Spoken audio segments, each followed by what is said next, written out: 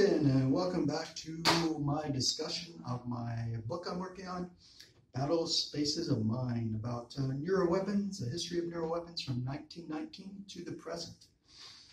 Today we are talking about Chapter 2, Information Warfare. Information warfare is something that is ongoing constantly. There is no rest from information warfare. The battle for your mind and your heart is a constant endeavor whether it's um, for geopolitical gain or for partisan political gain or any um, anything related to just about anything socioeconomic is going to have some element of information warfare.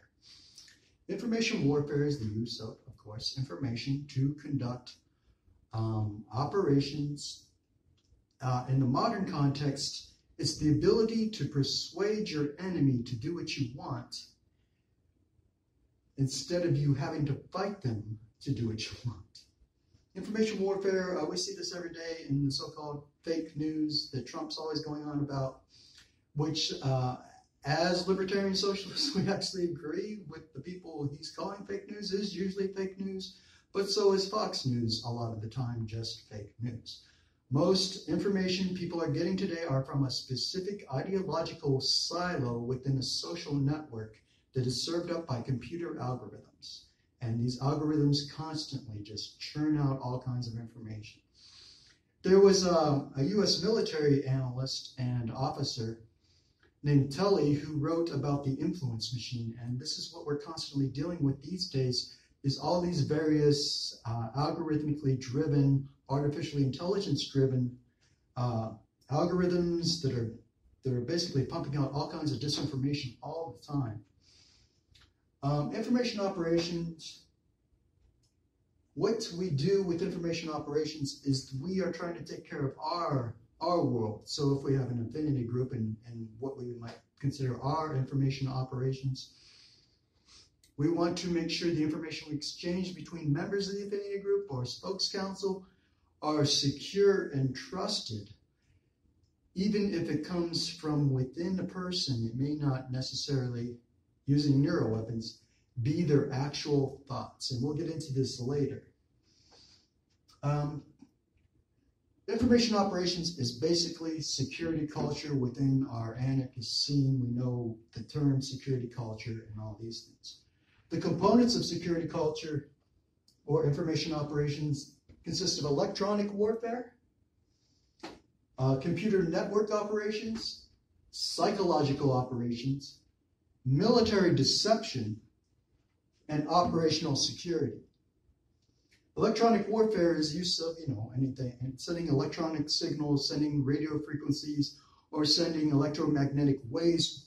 Uh, in riot situations, we now know of directed energy weapons that are used against protesters to cause them to be dizzy and to um, feel nauseated, so they'll stop protesting. That's an example of electronic warfare. Computer network operations, we're familiar with computer network operations, the necessity to secure your networks, even though there is no real security with quantum uh, um, computers coming online that can decrypt anything that you encrypt with typical um, RSA encryption today.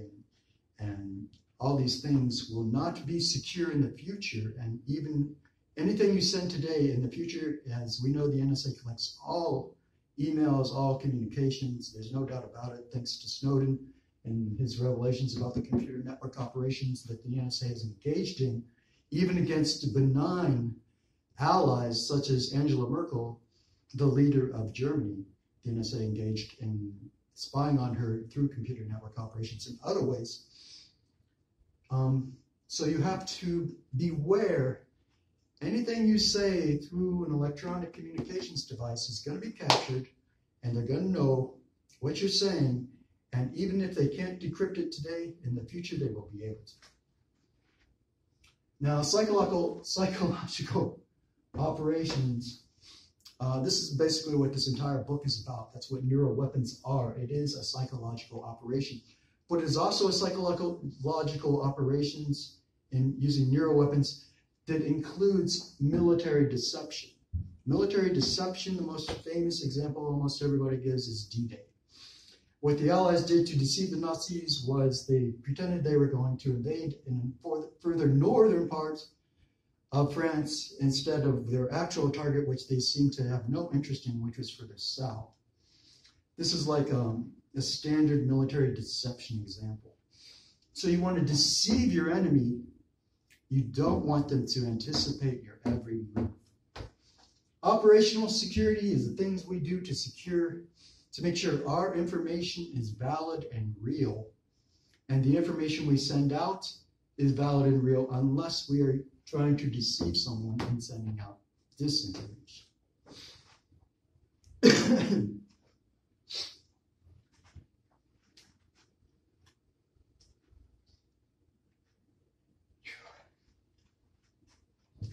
now, when it comes to military deception, you'll hear a lot of uh, commentators today talking about how the Russians are using um, mus- uh, sorry, this is a hard word for me to pronounce. Maskirovka, which is the Russian word for deception, military deception. Um, we need to understand that all military intelligence organizations, all intelligence organizations everywhere practice deception. It's like one of the key elements of their trade. Um,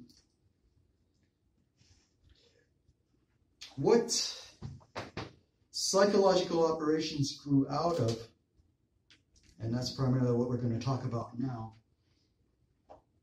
is um, this German, the Germans and the British came up with with um, what they basically called worldview warfare. It's basically political warfare.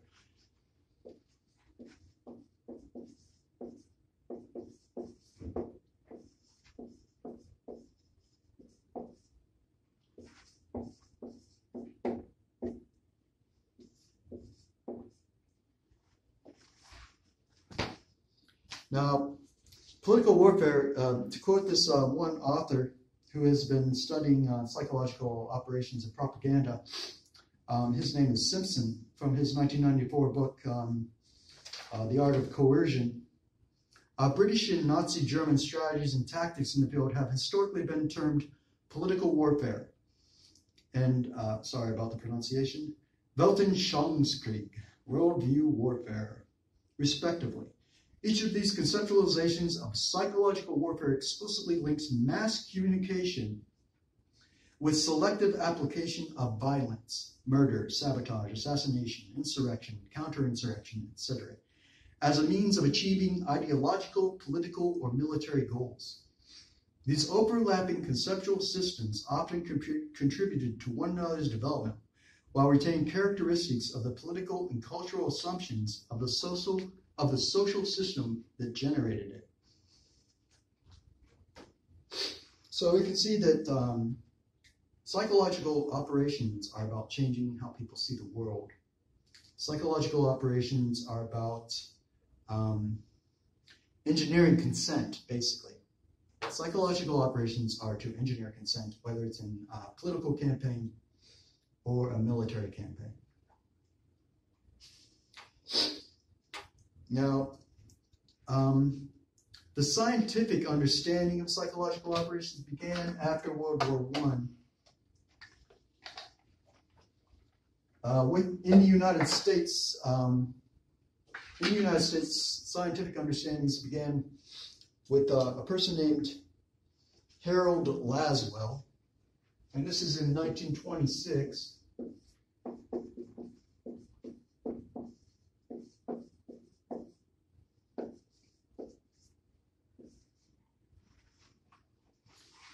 In 1926, Harold Lasswell um, wrote a book called uh, Propaganda Techniques in the World War. Um, psychological warfare is a look at how powerful elites manage change, reconstitute themselves in new forms, and struggle to shape the consciousness of audiences that they claim as their own.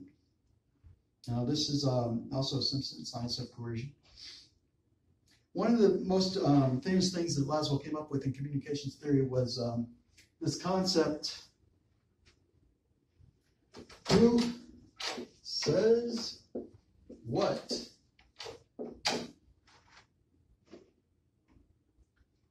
To whom?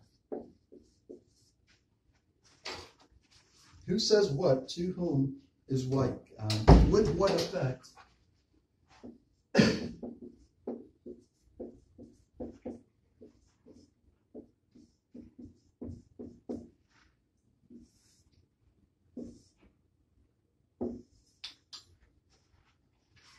so we can uh, see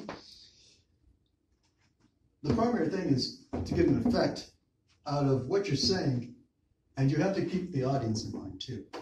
So he's uh, basically, uh, this is all like um, basic stuff in propaganda. Now, this is in 1926, after the war. Um, another person who came onto the scene, another, uh, well, Lasalle um, was a part of the American Expeditionary Forces in World War One. Um, so he was studying it from a military perspective initially. He later got into, you know, the political realm and these all these different ways you can use information warfare. Another person to come on the scene was uh, Walter Lippmann, who also was a World War One veteran and worked in uh, intelligence in World War One. Uh, so he also started studying these things. One of the most important concepts that Walter Lippmann ever gave us was the concept of a stereotype.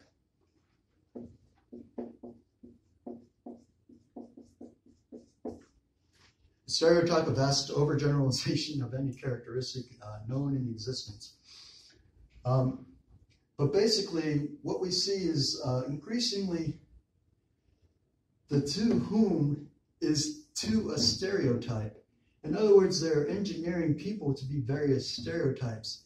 And we're increasingly being put in these various stereotypical silos and taught not to, and basically being conditioned not to communicate with each other outside of these very specific silos, which is problematic for any functioning society when everything becomes fragmented and it becomes split apart. So we can generally see how um, we're just being manipulated constantly. Now, um, there's a very interesting element to this in who was financing again. Who's financing the research into psychological operations?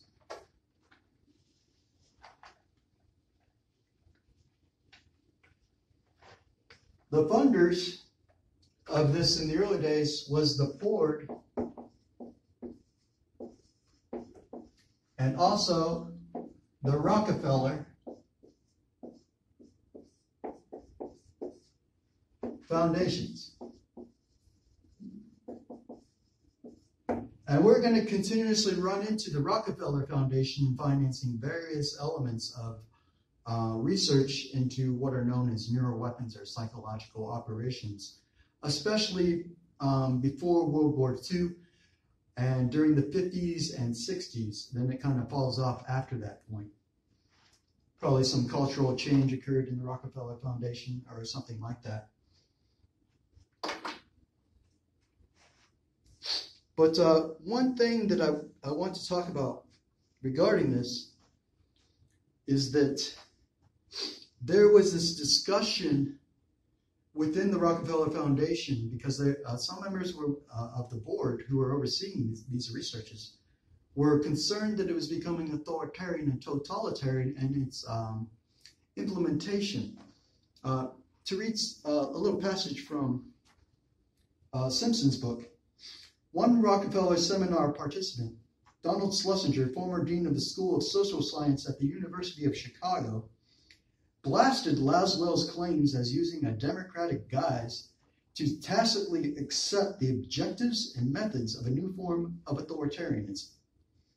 We, uh, Slesinger is saying, we, at the Rockefeller Seminar, have been willing, without thought, to sacrifice both truth and human individuality in order to bring about given mass responses to war stimuli. Slesinger contended we have thought in terms of dictatorship by manipulation.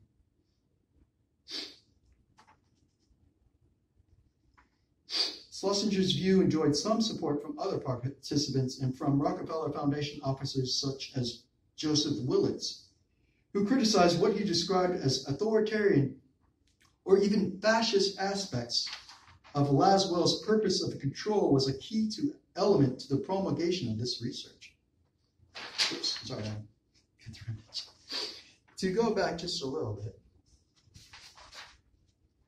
Rockefeller Foundation officers such as Joseph Willits, who criticized what he described as authoritarian or even fascist aspects of Lasswell's arguments, despite this resistance, the social polarization created by the approaching war strongly favored Lasswell, and in the end, he enjoyed substantial new funding and an expanded staff courtesy of the foundation.